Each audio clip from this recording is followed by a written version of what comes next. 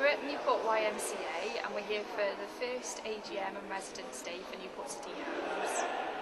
The Residents' Day is about a first opportunity for residents to um, get to meet the staff and see what's happening with Newport City Homes. All the different service providers are here today as well as a lot of our partner an opportunity for people to see what the investment programme um, opportunities are going to be. So there's a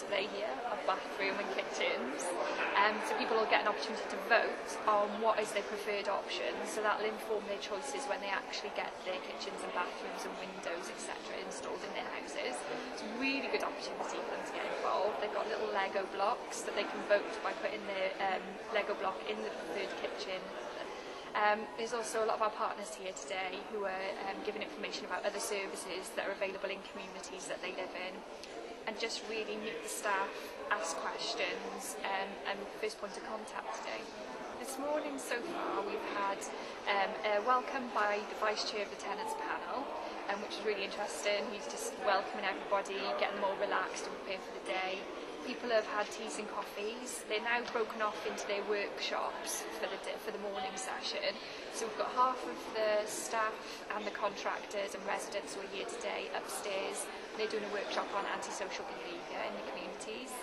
Um, and there's also a session that's running downstairs, which is, uh, again, staff, um, a lot of the investment programme staff also residents who were looking at the ideal, their ideal home, what their ideal home would be to them, and um, informing the staff what they would like to see within their homes and rolled out through the investment program I think this is a, a brand new approach. Um, it's giving people the opportunity before things happen to have their input rather than us appearing at their doorsteps, in putting in a new kitchen and bathroom that they've had no say over.